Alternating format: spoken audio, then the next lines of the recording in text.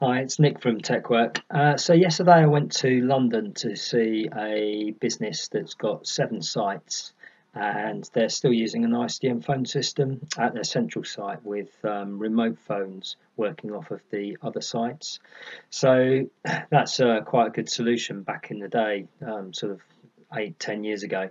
These days, not a good solution because um, they've got one single point of failure at their main site. So if their ISDN goes down, or indeed their internet connection, which is used for all of the remote phones to connect back to the main system, if that goes down, um, then they've lost everything basically. Um, so we're quoting for a new hosted phone system to replace all of that. Um, they also have a problem that they need to uh, utilize their call logging software so they can see how many calls they're getting in and out at certain times, and that doesn't work and they don't know how to um, access it. And they haven't heard from their supplier for years. Um, so not a lot of account management going on. Uh, so we're going to upgrade them to a hosted phone system which removes all of that problem.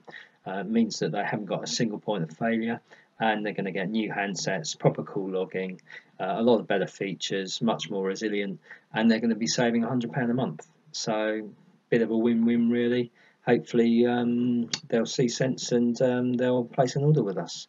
So uh, yeah, that's uh, Nick Brandon from Tecwork. Have a good day.